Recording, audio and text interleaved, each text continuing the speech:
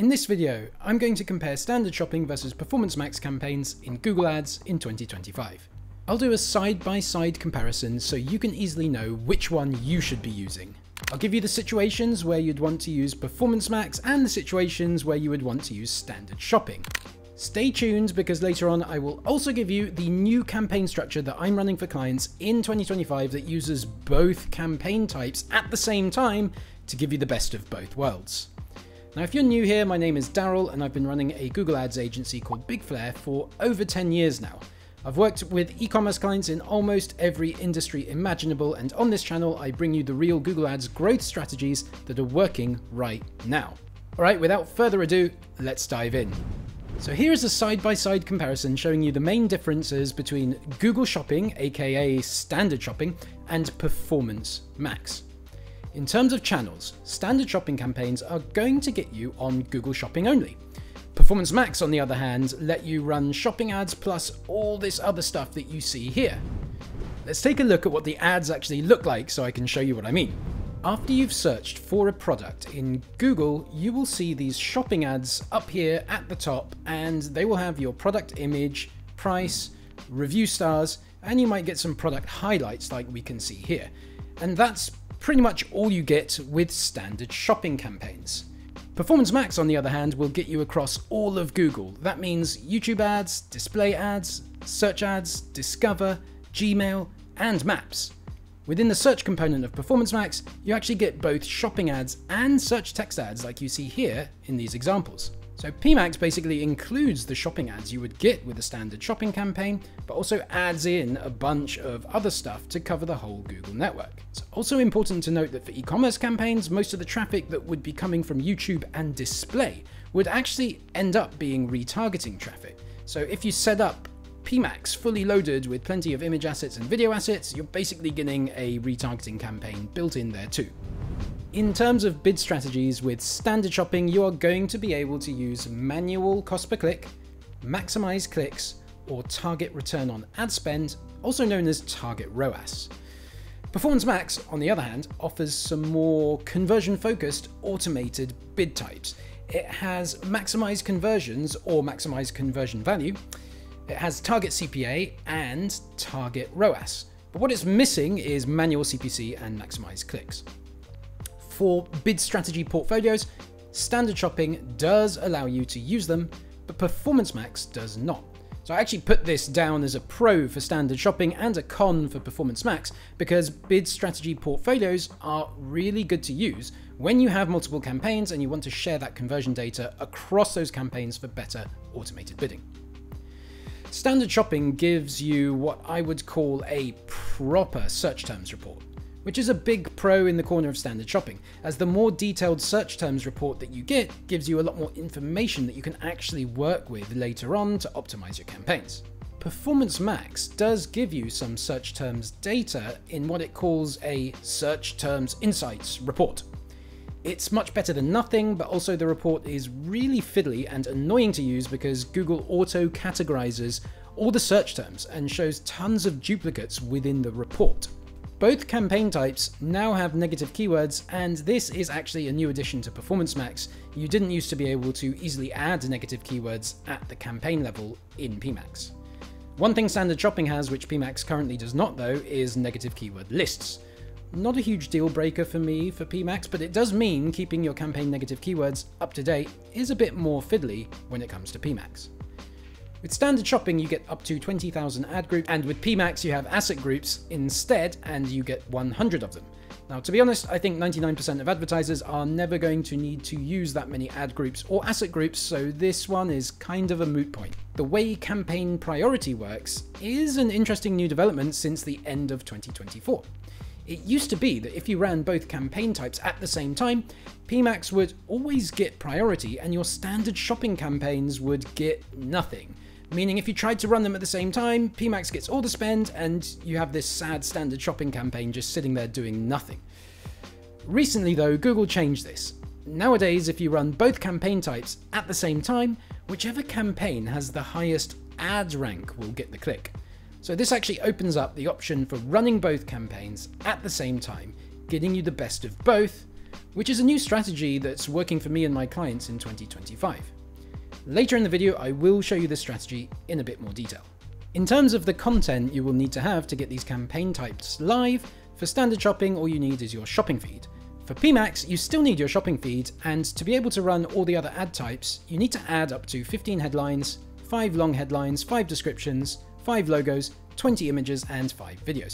So there's going to be a bit more work involved in terms of content for your PMax ads. Okay, now we have the main pros and cons, and let's do standard shopping first. Standard shopping, I love the fact that you can use bid strategy portfolios. With standard shopping, you also might have a better chance of hitting a higher return on ad spend at the beginning because it's focused only on shopping ads, and so the system does not need to test all those other ad formats. Most of those other ad formats don't usually get as good of a return on ad spend as shopping anyway. Standard shopping gets better search terms data, and again, because it's only on shopping, it can be less volatile than Performance Max. You need to be aware though that with standard shopping, if you want to be on those other good performing channels like say search text ads and retargeting, you need to set those up separately so it's a bit more manual work to be going across all of Google's network.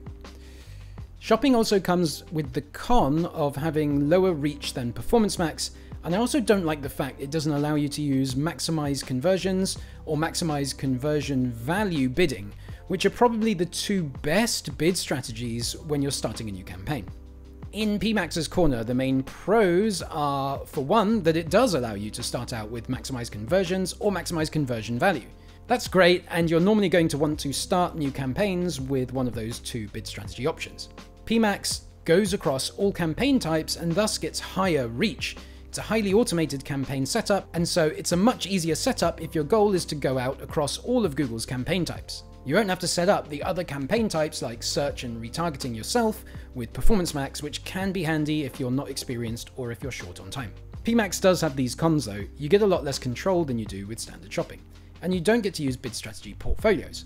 Can be a bit more volatile due to it needing to test so many ad types, and as I already mentioned, the search terms report in PMax is annoying to put it mildly. Let's talk next about when you should use standard shopping. I'd recommend standard shopping if you are just starting out and you have a smaller total budget of $3,000 per month or less. It's also the place to start if your goal right now is not necessarily to maximize your reach, but instead to get to a profitable return on ad spend as quickly as you can. Standard shopping is also the one to choose if you plan to actively mine your search terms data to use for doing stuff like feeding your non-branded search campaign.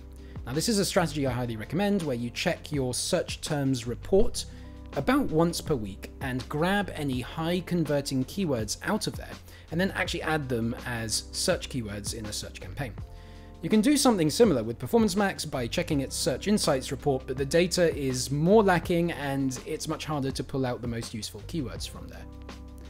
Another time you can use standard shopping is if you already have a very mature Performance Max campaign and it seems to have plateaued in terms of scaling. You can't crank up the spend profitably anymore in PMax, and now you're looking for more efficiency and better overall return on ad spend in your Google Ads account. At this time, what you can then do is add standard shopping into your existing Performance Max campaign setup and move to my new campaign structure for e-commerce in 2025, which I call the best of both worlds structure. Now later in the video, I'll dive into the best of both worlds strategy, but before I show you that one, let's quickly talk about when to use Performance Max. I'd use Performance Max if you're just starting out and have a bigger budget of over $3,000 per month for Google Ads. It's the place to start if you don't mind taking perhaps a bit longer to get to your return on ad spend target, and your goal really is to maximize your reach and drive as much total revenue as you can from Google Ads without needing to set up multiple campaign types. PMax is also worth using if you want to be on all those campaign types I mentioned before, including search text ads and display retargeting and video retargeting, but you don't want to set up all the other manual campaigns that would be needed to get this going. If that's the case, PMax is your one-stop shop for all campaign types in Google. Another time for PMax is if you already have a fully developed standard shopping campaign and now you want to more easily widen your reach and access all that other stuff like search and retargeting that Performance Max does, but you don't know how or don't want to set those up as separate campaigns. If this sounds like you, then again, you are going to want to use my best of both worlds setup, which I will explain next. But before I dive into that, let me take a moment to let you know about my custom Google Ads growth plan. Optimizing Google Ads to a sky-high ROAS is hard, and keeping up with all the latest changes and strategies can feel like a full-time job. With a custom Google Ads growth plan, you will get a fully customized audit document plus a one-hour consultation with a senior ad strategist from my team that shows you exactly what to do in Google Ads and in what order for maximum growth. For previous growth plan clients, we've seen an $83,000 increase in monthly revenue for an event decor company and a 120% increase in conversions for a gifting company, just to name a few. What happens with the custom growth plan is my team and I will audit your Google Ads account and create a custom action plan document for you. This custom plan is actually guaranteed to get you a profitable increase in revenue. It even has a money back guarantee. Now, if that sounds interesting, then hit the link in the description below this video for the custom Google Ads growth plan. You'll be able to book a time to talk with me so we can figure out if the custom growth plan can help you scale your business. All right, let's get back to the video and let's dive into the best of both worlds campaign setup.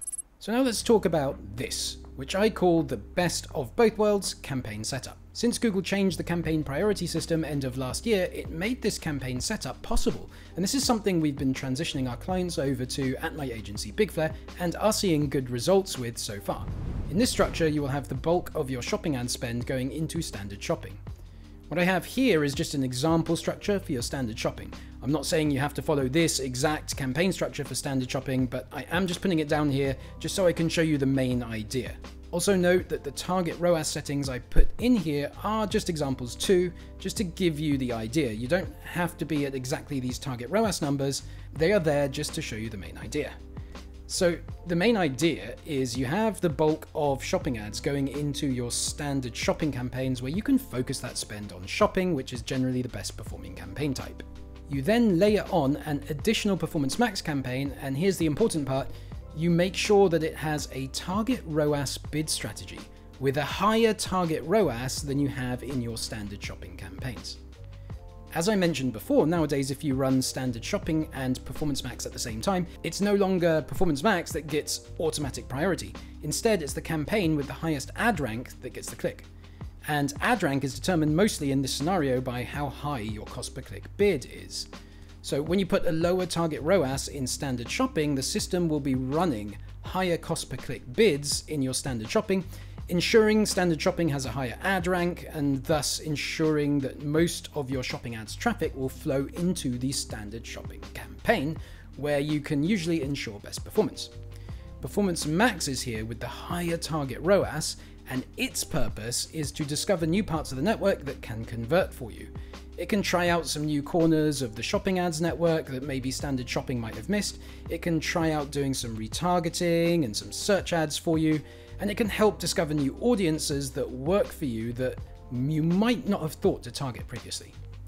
That's why I call it the best of both worlds strategy. Standard shopping is there running at a lower target ROAS and getting that awesome strong performance and lower volatility that you tend to see in standard shopping. But PMAX is here too, running at a higher target ROAS so that it doesn't steal budget from standard shopping and it's here to discover new parts of Google's network and new audiences that you might not be hitting in your main standard shopping campaign.